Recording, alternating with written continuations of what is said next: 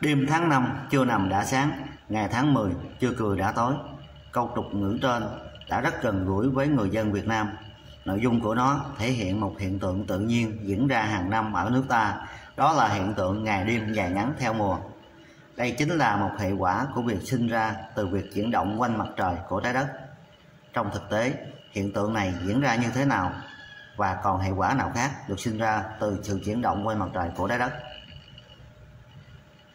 Chuyển động quanh mặt trời của trái đất Cùng với chuyển động tự quay quanh trục, trái đất chuyển động quanh mặt trời.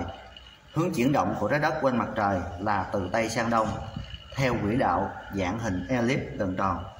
Trái đất quay một vòng quanh mặt trời mất 365 ngày 6 giờ. Thời gian này gọi là một năm thiên văn. Trong khi chuyển động trên quỹ đạo, trái đất giữ nguyên độ nghiêng và hướng nghiêng của trục. Nhờ vậy, sinh ra các hiện tượng mùa và ngày đêm dài ngắn theo mùa trên trái đất. Hệ quả của sự chuyển động quanh mặt trời của trái đất Hiện tượng các mùa Mùa là một khoảng thời gian của năm, có những đặc điểm riêng về thời tiết và khí hậu. Nguyên nhân sinh ra hiện tượng mùa là do trục trái đất nghiêng và gần như không đổi hướng khi trái đất chuyển động trên quỹ đạo quanh mặt trời. Khi ấy, lần lượt bán cầu Bắc và bán cầu Nam ngã về phía mặt trời. Bán cầu nào ngã về phía mặt trời nhiều hơn thì nhận được nhiều nhiệt và ánh sáng hơn. Lúc này gọi là mùa nóng. Ngược lại, bán cầu nào ngã về phía mặt trời ít hơn sẽ nhận được lượng nhiệt và ánh sáng ít hơn. Lúc này gọi là mùa lạnh. Như vậy, trong cùng một thời điểm, mùa ở hai bán cầu trái ngược nhau. Hiện tượng ngày đêm dài ngắn theo mùa.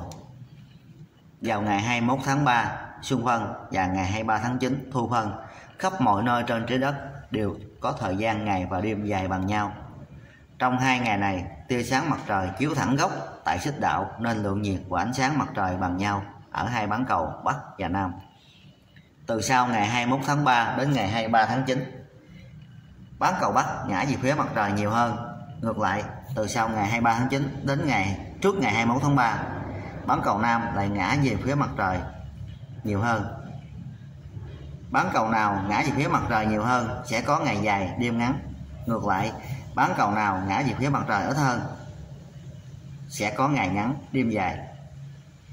Do đường phân chia sáng tối không trùng với trục trái đất nên các địa điểm ở bán cầu Bắc và bán cầu Nam có hiện tượng ngày đêm dài ngắn khác nhau. Các địa điểm nằm trên đường xích đạo quanh năm luôn có ngày đêm dài ngắn bằng nhau. Càng xa xích đạo về phía hai cực, sự chênh lệch nhiệt độ, sự chênh lệch độ dài ngày đêm càng biểu hiện rõ rệt.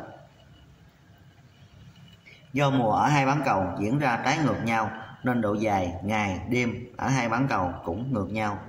Khi bán cầu Bắc có ngày dài đêm ngắn thì ở bán cầu Nam sẽ là ngày ngắn đêm dài.